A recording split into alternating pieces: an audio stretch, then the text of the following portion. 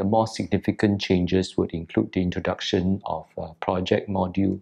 um, as well as uh, industry attachment in our courses, uh, as well as the emphasis on uh, employability skills and later on we call it life skills, uh, which we made compulsory for all our students. Uh, more recently, we had actually grouped our courses under career clusters uh, and so that our students will be able to learn the generic skills within the career cluster followed by the course-specific competencies.